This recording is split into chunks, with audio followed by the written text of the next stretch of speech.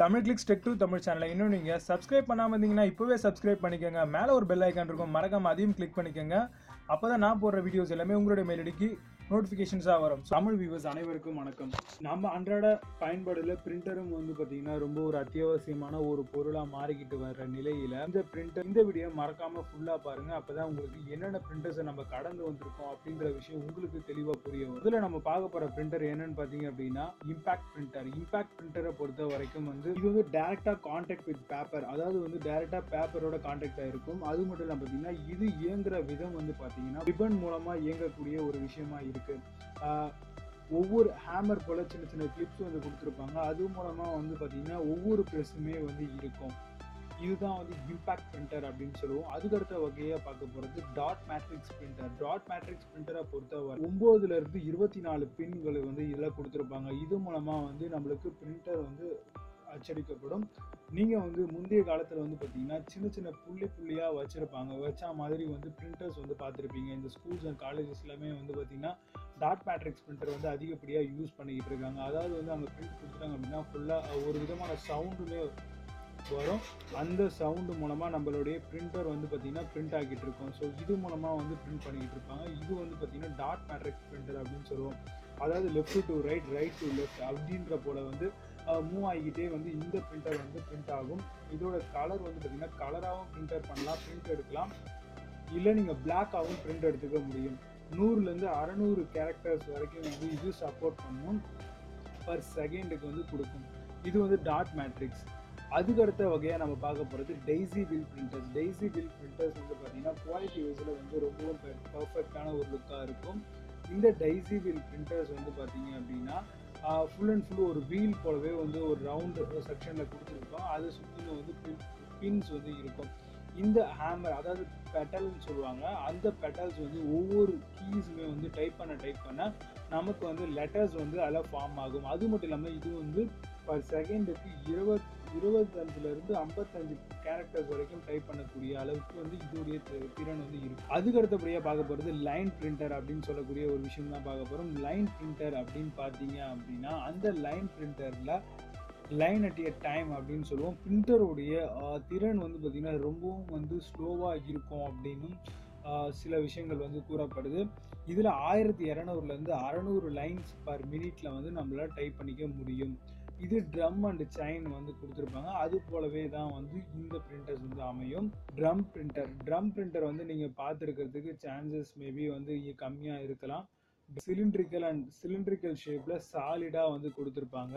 அதை சுற்றின வகையில் வந்து எழுத்துக்கள் வந்து அச்சடிக்கப்பட்டிருக்கும். நம்ம ஒரு பேப்பரை வந்து அதில் இன்சர்ட் பண்ணிவிட்டு டைப் பண்ணுறோம் அப்படின்னா அந்த வட்ட வடிவில் இருக்கக்கூடிய அந்த ஒவ்வொரு எழுத்துலையுமே வந்து நம்ம டைப் பண்ண டைப் பண்ண அந்த டைப் டப்பு டப்புன்னு டைப் ஆகும்? அப்படி டப் டைப் ஆகும் பொழுது அதில் வேர்டிங்ஸ் வந்து அந்த பேப்பரில் வந்து விழும். அதாவது அதில் இருக்கக்கூடிய அந்த வேர்டிங்ஸ் வந்து அந்த பேப்பரில் விழும். இதுதான் வந்து ட்ரம் பிரிண்டர் அப்படின்னு சொல்லுவாங்க. முந்நூறுலேருந்து இரண்டாயிரம் லைன்ஸ் பர் மினிட்ல வந்து நம்மளால் டைப் பண்ணிக்க முடியும். இதோடைய ஸ்பீடும் வந்து ரொம்ப ஒரு ஆவரேஜான ஒரு ஸ்பீடாக இருக்கும் அப்படின்னு சொல்லியிருக்காங்க.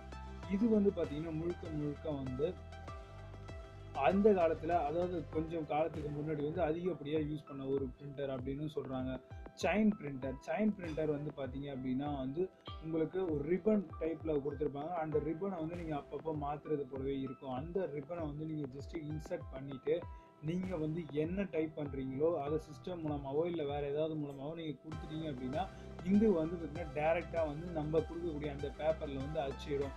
இது நானூறுலேருந்து ரெண்டாயிரத்தி ஐநூறு கேரக்டர் கேரக்டர் வரைக்கும் பர் மினிட்டுக்கு வந்து டைப் பண்ணக்கூடிய ஒரு பிரிண்டர் அப்படின்னு சொல்லலாம். இது வகை வந்து சைன் பிரிண்டர் அப்படின்னு சொல்லுவோம். அதாவது அந்த ரிப்பன் வந்து மூமெண்ட்லேயே இருக்கும். அது மூலமாக வந்து நீங்கள் டைப் பண்ண நீங்கள் கொடுத்துருக்கீங்க பிரிண்டாக இருக்கட்டும் இல்லை டைப்ரைட்டிங்காக இருக்கட்டும் அதில் வந்து பதிய ஆரம்பிக்கும். இதுதான் வந்து சைன் பிரிண்டர் அப்படின்னு சொல்லுவோம்.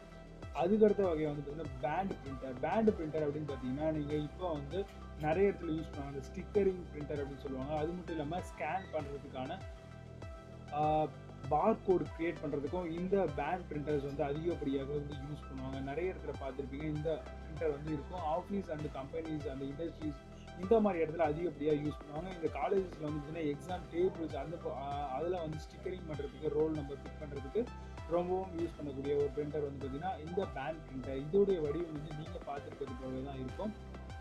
அடுத்தபடியாக நான் உங்களுக்கு சொல்ல போகிற விஷயம் என்னென்னு பார்த்தீங்கன்னா இன்க்ஜெட் பிரிண்டர் இப்போ வந்து பரவலாக வந்து அதிகப்படியாக யூஸ் பண்ணிட்டு இருக்கக்கூடிய பிரிண்டர் வந்து பார்த்தீங்கன்னா இன்க்ஜெட் பிரிண்டர் இது வந்து கேட்ரிஜ் மூலமாக இயங்கக்கூடிய ஒரு பிரிண்டர் அப்படின்னு சொல்லலாம்.